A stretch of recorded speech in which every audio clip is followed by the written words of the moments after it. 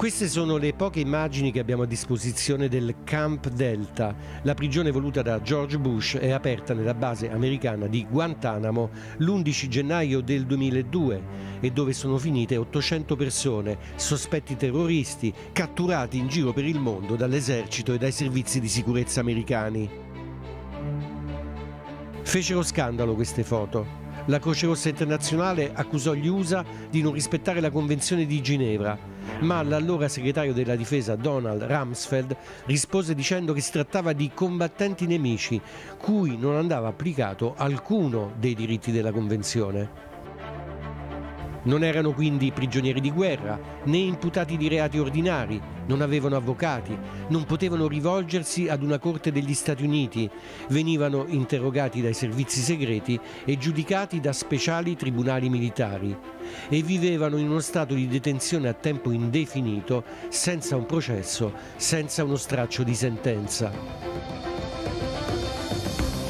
Per otto anni non si sono conosciuti neanche i nomi e i cognomi degli internati, fino al 2010, quando Assange pubblica un file che Chelsea Manning aveva inviato a Wikileaks con l'elenco dei nomi e le schede di tutti quelli che erano stati illegalmente arrestati e detenuti a Guantanamo e scoppia lo scandalo. Per la prima volta si è potuto scoprire perché erano lì e era pazzesco perché si scopriva che uno si era messo a combattere con i talebani perché avevano fatto una lotteria, perché erano arrivati i talebani nel villaggio e siccome nessuno voleva offrirsi volontari, i vecchi del villaggio temevano la rappresaglia, hanno, preso, hanno indetto una lotteria e il povero disperato alla fine era finito a Guantanamo. Un altro è stato mandato a Guantanamo perché conosceva i sentieri impervi delle montagne, cioè solo 150 di loro dalla stessa task force venivano considerati pericolosi. Ma gli altri no? Gli altri assolutamente Erano dei poveracci, no. però sono rimasti lì per tanti anni e sono stati torturati. Sono stati trattati in modo abominevole, alcuni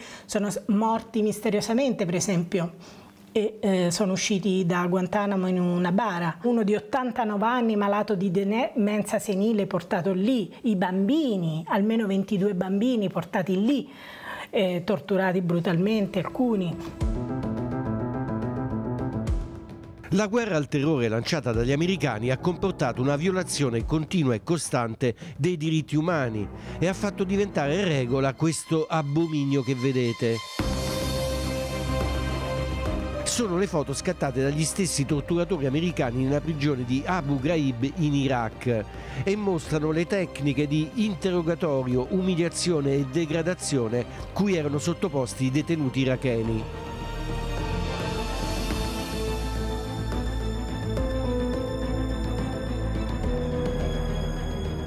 A rivelare al mondo intero le torture di Abu Ghraib era stato Seymour Hersh, il giornalista americano premio Pulitzer, nel maggio del 2004, con questo articolo pubblicato sul New Yorker, dove rivelava il contenuto di un rapporto interno stilato dal generale Taguba. Quando poi ho conosciuto il generale Taguba di persona, ho scoperto che la sua carriera era stata rovinata perché aveva scritto quel rapporto. Aveva fatto qualcosa che è assolutamente sorprendente. Ha davvero detto la verità in quel rapporto.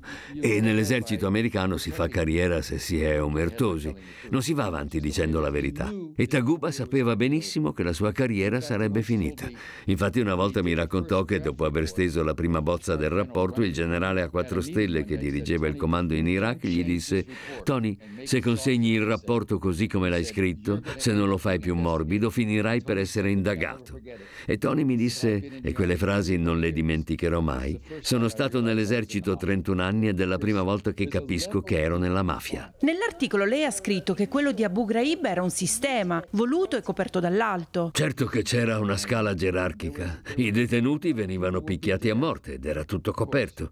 E quando stava facendo la sua indagine, il generale Taguba sapeva che c'erano informazioni che gli erano state nascoste. C'erano alcune persone elencate come ufficiali dell'esercito che non riuscì mai a trovare. Sapete, questa è l'arroganza del sistema. Nelle accademie militari ti riempiono la testa con parole come l'onore, il dovere, la patria. Beh, non sono così sicuro che siano queste le priorità. Penso che la vera lezione che ti inculcano sia quella di proteggere i tuoi commilitoni. Ed è quello che succedeva ad Abu Ghraib dove tutto era coperto. Ben Wisner è il direttore dell'Associazione americana sulle libertà civili. È il principale avvocato di Edward Snowden, l'ex analista dell'Agenzia per la sicurezza nazionale, che ha rivelato che gli Stati Uniti avevano messo in piedi uno spionaggio illegale di massa, sempre in nome della sicurezza nazionale. Tutto inizia con l'attacco alle Torri Gemelle. Il governo dice che è un'emergenza e che ha bisogno di poteri speciali per combattere il terrorismo e li ottiene. Nuovi poteri per la sorveglianza in modo da poter ascoltare le telefonate e intercettare le email. Nuovi poteri per la detenzione. E così è nata quella isola fuori dalla legge che è la prigione di Guantanamo e le prigioni segrete dove la CIA faceva sparire le persone. Nuovi poteri per gli interrogatori e così il governo ha autorizzato la tortura nuovi poteri per uccidere, anche fuori dal campo di battaglia, utilizzando i droni. Il problema è che l'emergenza non finisce mai e anche i poteri speciali non finiscono mai. Come avvocato, Ben Wisner si batte da dieci anni contro gli abusi e le violazioni dei diritti umani della guerra al terrore e ha avuto il coraggio di portare alla sbarra persino la CIA difendendo Khalid El Masri, un cittadino tedesco arrestato illegalmente mentre faceva una vacanza in Macedonia, trasportato in una prigione segreta in Afghanistan e torturato dalla CIA. L'unica colpa di Khalid el-Masri era di avere un nome molto simile a quello di un sospetto terrorista di Al-Qaeda. Sono convinto ancora oggi che se non fosse stato un cittadino europeo, se fosse stato un cittadino del Pakistan o del Marocco o dello Yemen, sarebbe finito dritto dritto a Guantanamo. Ma era un cittadino tedesco e così dopo cinque mesi viene portato in aereo in Albania e riportato in Germania, dove gli è stato detto non dire mai a nessuno cosa ti è successo, nessuno ci crederà. Ma lui è venuto da me per chiedere giustizia. Abbiamo intentato una causa contro la CIA, ma il governo ha opposto il segreto di Stato e quindi il caso doveva essere archiviato senza alcuna sentenza. Ora spesso si accusano i whistleblower come Edward Snowden e Chelsea Manning. Perché avete consegnato le informazioni ai giornalisti? Siamo in un paese democratico, ci sono i tribunali per giudicare questi casi, c'è il Parlamento, il Congresso a cui ci si può rivolgere.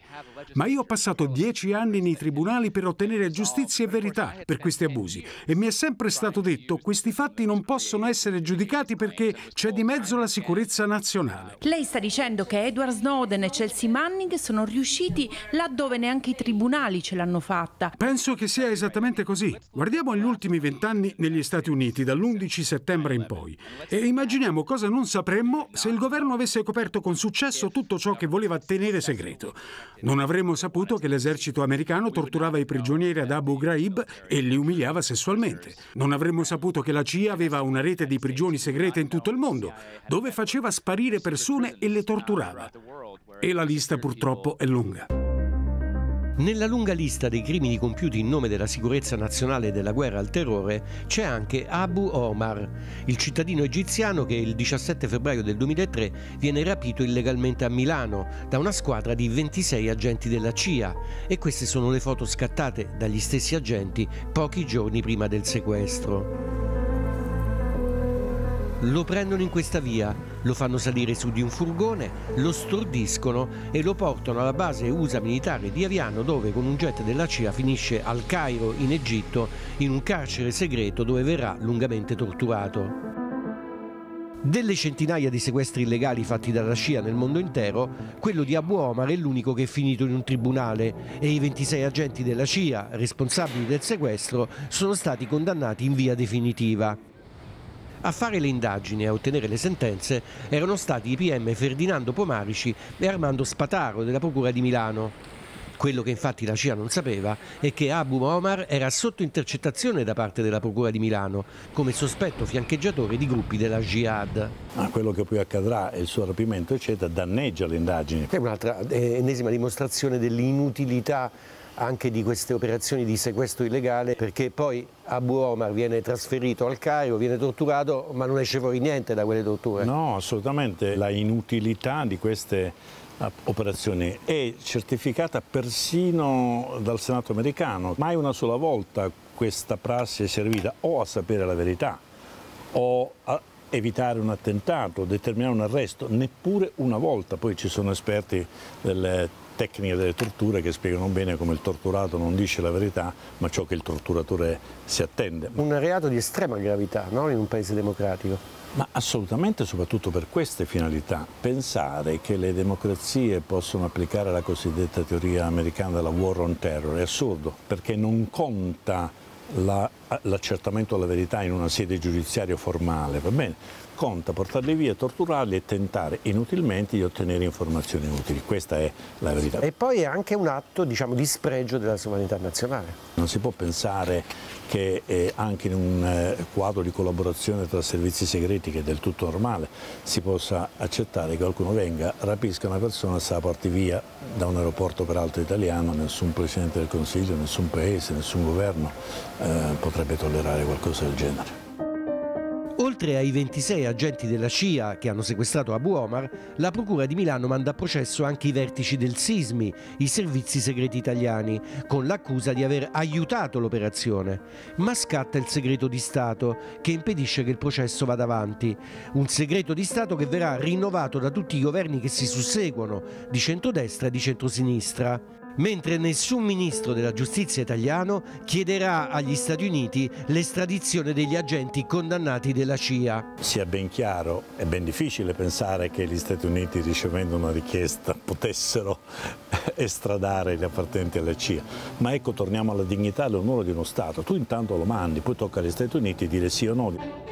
Quanto siano state forti le pressioni degli americani sui governi italiani per salvare gli agenti della CIA lo abbiamo capito quando abbiamo letto questi rapporti segreti, trafugati da Chelsea Manning e pubblicati da Assange. Questo è un dispaccio del 24 maggio del 2006 inviato dall'ambasciatore americano a Roma Ronald Spogli al Dipartimento di Stato. Spogli dice ad Enrico Letta, all'epoca sottosegretario alla presidenza del secondo governo Prodi, che nulla avrebbe potuto danneggiare gravemente e rapidamente di più le buone relazioni tra Stati Uniti e Italia che se il governo italiano avesse dato seguito alle richieste di arresto degli agenti della CIA fatte dalla Procura di Milano. Quando il secondo governo Prodi viene sostituito dal terzo governo Berlusconi, gli americani tornano all'attacco il 6 febbraio del 2010 il segretario della difesa Robert Gates ringrazia il ministro della difesa Ignazio La Russa per gli sforzi che ha fatto perché sul caso Abu Omar si affermi la giurisdizione degli Stati Uniti. Io credo che quando un ministro vuole che sia la sua giurisdizione a processare, è un insegnamento, cioè non abbandonare mai il proprio militare anche quando sai che ha sbagliato, quindi io avevo certamente a cuore la nostra posizione, ma ero in grado di capire perfettamente e qualche volta di invidiarla, la capacità degli Stati Uniti di essere sempre fino in fondo, a fianco. Quindi non c'è la questione di dignità del Paese? La dignità del Paese. Di sovranità nazionale italiana? Certo che sì, gliel'ho detto, è la prima cosa, ma dall'altro lato io mi chiedo se un soldato italiano e capita, c'è stato. Abbiamo avuto i nostri due casi in India, no? Ci sono, bravo. I due Marò. Bravo. Allora in quel caso cosa chiedevo io? Che venissero giudicati in Italia. Non andò così con i due Marò, Massimiliano Latorre e Salvatore Girone. L'Italia non ebbe la forza per riportarli da noi, farli giudicare nel nostro paese e per anni rimasero prigionieri in India. Ben altra forza di pressione e ben altri risultati ottennero gli americani. Per i loro uomini della CIA, come ammette lo stesso Franco Frattini, ministro degli esteri del secondo e del quarto governo Berlusconi. Noi non abbiamo neanche chiesto l'estradizione e non abbiamo visti processati i piloti americani che fecero cascare la funivia del Cermis, come dire, magari per un gioco pericoloso a bassa quota, quindi cose di gravità strepitosa, eppure non c'è stato un processo e tantomeno un'estradizione. È una tradizione che purtroppo lega gli Stati Uniti a tutti i suoi principali alleati, non soltanto l'Italia. È un bel rapporto di forza. È un rapporto di forza che, Squilibrato, direi. che non abbiamo avuto ancora il coraggio di mettere in discussione. La nostra sovranità nazionale è stata messa a dura prova anche nel 2003, l'anno della guerra americana in Iraq, quando Franco Frattini era il ministro degli esteri. Nei dispacci diplomatici che provenivano dall'ambasciata americana a Roma, pubblicati da Assange, si parla dell'Italia come fosse il loro cortile di casa. Maggio 2003, Mel Sembler, l'allora ambasciatore a Roma, scrive un rapporto confidenziale al Dipartimento di Stato in cui racconta cosa gli americani hanno ottenuto dall'Italia per la guerra all'Iraq. Abbiamo ottenuto tutto quello che chiedevamo. Il governo ci ha messo a nostra disposizione gli aeroporti, i porti e i treni. E abbiamo potuto trasportare 8.000 truppe da combattimento. Mentre dalla base di Aviano si è mossa sul suolo italiano la più grande brigata da combattimento aviotrasportata dai tempi della Seconda Guerra Mondiale. Il governo italiano ci ha dato assistenza per realizzare più di 1300 missioni sul teatro di guerra, partite dalla base di Sigonella. Il governo italiano è riuscito a prevenire le proteste dei pacifisti, che avrebbero potuto intralciare o fermare i treni e i camion che trasportavano in Italia materiale militare.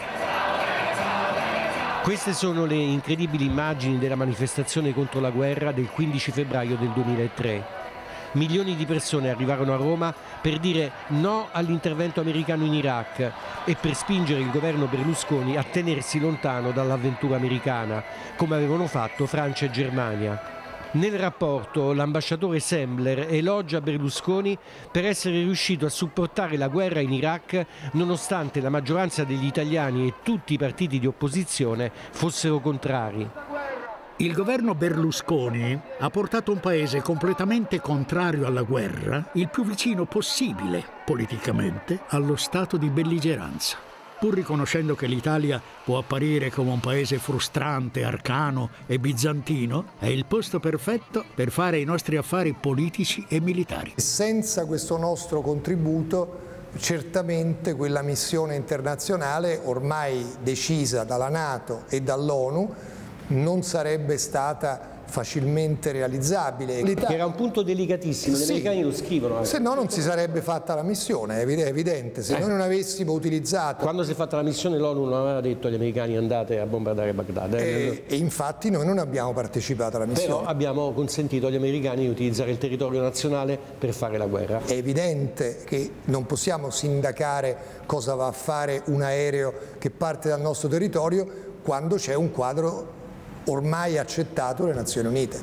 Le hanno fatto male queste parole, pur riconoscendo che l'Italia può apparire un posto arcano e bizantino fino alla frustrazione, siamo convinti che è un posto eccellente per fare i nostri affari politici e militari. Ma gli americani hanno sempre avuto questa tendenza a considerare l'Italia un paese che si può rapidamente piegare e questo hanno fatto male i conti perché in molte occasioni della storia italiana noi con grande lealtà abbiamo detto agli americani che certe cose non si potevano fare.